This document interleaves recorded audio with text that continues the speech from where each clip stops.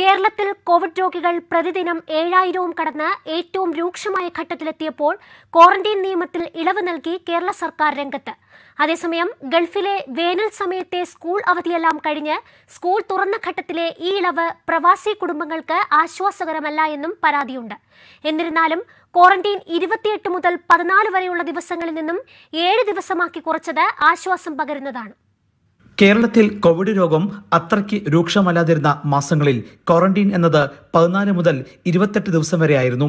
ഇത് ഒരുപാട് പ്രവാസികളെ നാട്ടിലേക്കുള്ള യാത്രയിൽ നിന്നും പിൻവാങ്ങാൻ പ്രേരിപ്പിച്ചിരുന്നു. എന്നാൽ കോവിഡ് രോഗികളുടെ പ്രതിദിന എണ്ണം ഏറ്റവും രൂക്ഷമായി എണ്ണായിരത്തിലേക്ക് അടുക്കുമ്പോഴാണ് ക്വാറന്റീൻ ഏഴു ദിവസമാക്കി വെട്ടിച്ചുരുക്കിയത്.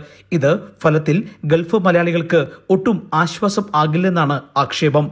കഴിഞ്ഞ മാസങ്ങളിലെല്ലാം നാട്ടിലേക്കുള്ള വിമാനങ്ങളിൽ വലിയ തിരക്കും അനുഭവപ്പെട്ടിരുന്നു. എന്നാൽ ഇപ്പോൾ കേരളത്തിൽ കോവിഡ് വലിയ രീതിയിൽ പടർന്നതോടെ നാട്ടിലേക്കുള്ള വിമാനങ്ങളിൽ യാത്രക്കാരും കുറവാണ്. അപ്പോഴാണ് ക്വാറന്റീൻ നിയമത്തിൽ കൂടുതൽ ഇളവ് നൽകിയത്. ഇത് പ്രവാസികളോടുള്ള അവഹേളനമായി സമൂഹ മാധ്യമങ്ങളിൽ ആക്ഷേപവും ചർച്ചയും വ്യാപകമാണ്. വിദേശത്ത് നിന്ന് കേരളത്തിലെത്തുന്നവർക്കും ഏഴു ദിവസത്തെ ക്വാറന്റൈൻ മതിയെന്ന് വ്യക്തത വരുത്തി കേരള സർക്കാരാണ് പുതിയ ഉത്തരവിറക്കിയത്. സെപ്റ്റംബർ ഇരുപത്തിനാല് ഇറക്കിയ ആദ്യ ഉത്തരവിൽ വിദേശത്ത് നിന്ന് എത്തുന്നവരുടെ കാര്യം കൃത്യമായി പറഞ്ഞിരുന്നില്ല. ഇത് വലിയ രീതിയിൽ വ്യക്തത കുറവുണ്ടാക്കിയിരുന്നു. വിദേശത്തു നിന്നും എത്തുന്നവർ ഏഴ് ദിവസത്തിനു ശേഷം പരിശോധന നടത്തി കോവിഡ് ഇല്ലെന്ന് ഉറപ്പാക്കിയാൽ ക്വാറന്റൈൻ അവസാനിപ്പിക്കാമെന്നാണ് പുതിയ നിയമം. എന്തായാലും അത്യാവശ്യ കാര്യങ്ങൾക്ക് നാട്ടിൽ പോകുന്നവർക്ക് അല്പം ആശ്വാസം പകരുന്നതാണ് ഈ പുതിയ പ്രഖ്യാപനം.